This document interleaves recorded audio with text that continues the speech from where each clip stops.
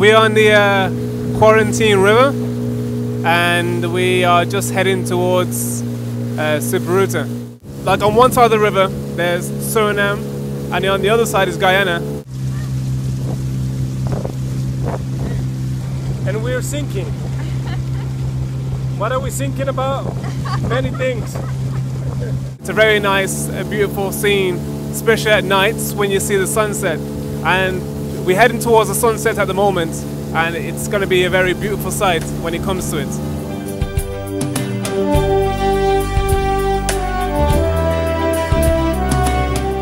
This project, uh, it's a secondary school. The school is named Siparuta Mission Academy, also known as SMA, and it's located in the eastern side of, of Guyana. It's a good avenue to educate the children, for one, because this is the only secondary school in this village, and two, to bring and administer the Word of God to them in their lives.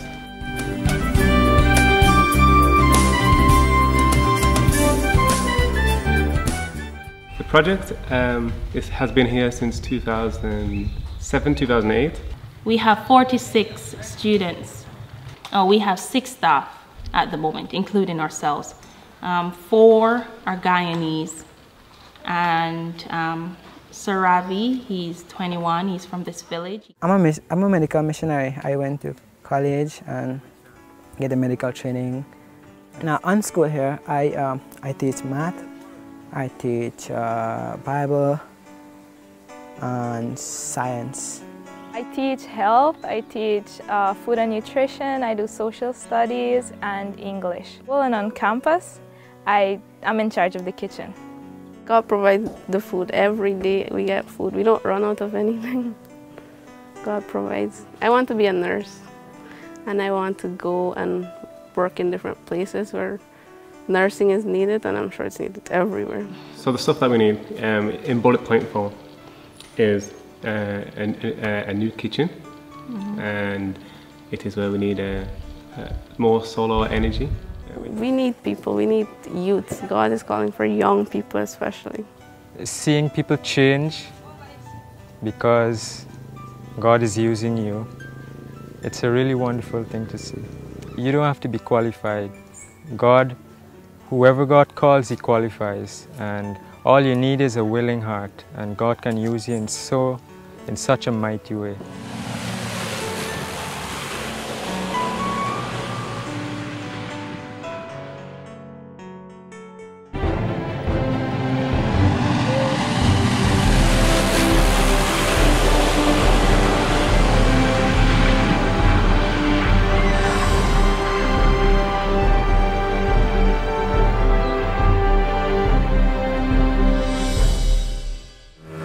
Uh, we're on the uh, Corentyne River and we are just heading towards uh.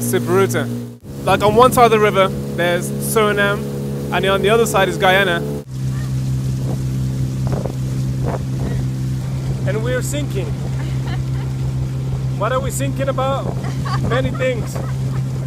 It's a very nice, beautiful scene, especially at nights when you see the sunset. And we're heading towards the sunset at the moment, and it's going to be a very beautiful sight when it comes to it.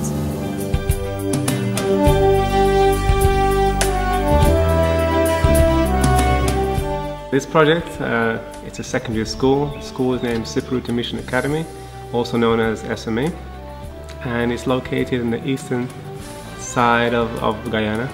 It's a good avenue to educate the children, for one, because this is the only secondary school in this village and two, to bring and administer the Word of God to them in their lives.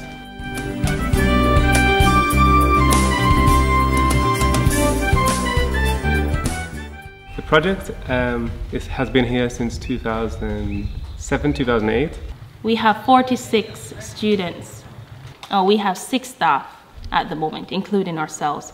Um, four are Guyanese, and um, Sir Ravi, he's 21, he's from this village. I'm a, I'm a medical missionary. I went to college and get a medical training. Now on school here, I, um, I teach math, I teach uh, Bible and science. I teach health, I teach uh, food and nutrition, I do social studies and English. Well, and on campus, I, I'm in charge of the kitchen.